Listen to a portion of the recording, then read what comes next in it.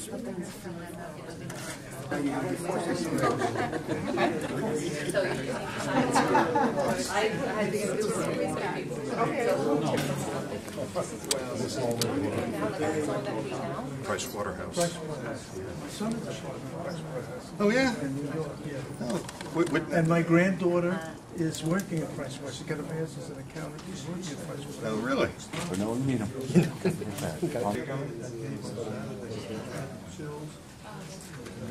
Our speakers tonight are steeped in uh, this issue and the electoral college issue, and here we are, two weeks before the election, and it is more than any election in my lifetime, it is on our minds. So, uh, welcome again, a great night, a very exciting night, and I turn it over to our panelists. President Peter Metis, uh, as we say in Gaelic, Sihatitiria, which means congratulations. And also the uh, Feerick Center for uh, co-sponsoring, and the uh, Queens County Bar Association for uh, giving us the uh, CLE credits. Uh, As, as we've said, that we all know this has been a very unusual election. Um, And uh, I say that uh, because pretty much since 1912, uh, you know, elections have followed a particular pattern.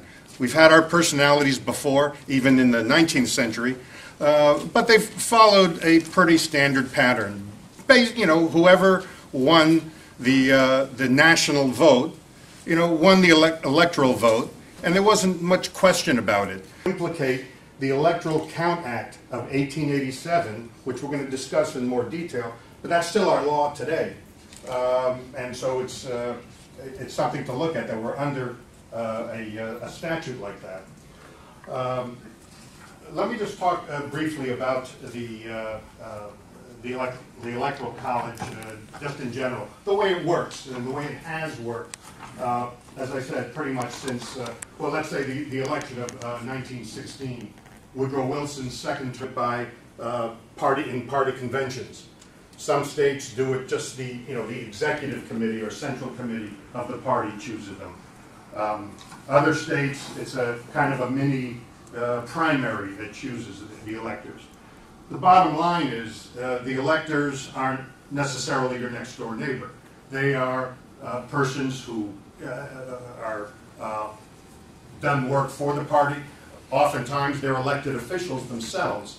Uh, The only thing discourages voter turnout, limits campaigns and nominations to large states, and places an undue premium on the effects of fraud, accident, and other factors because of a state's electoral votes may depend on only a few popular votes.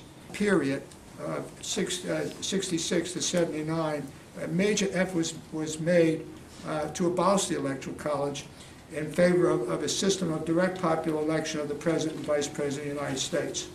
The ABA-sponsored proposal passed the House of Representatives by an overwhelming vote in uh, 1969, and that was because of, of of what happened in the election of 68, where Wallace was trying to get enough electoral votes, as Nick pointed out, uh, to deny uh, Nixon and Humphrey a- a majority.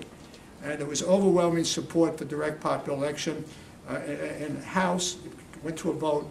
It was a majority uh, in the Senate supporting it, maybe around, I, I don't- I don't recall, it was around 60, but there was a filibuster that, uh, that prevented it from going, uh, going to the merits. It went to the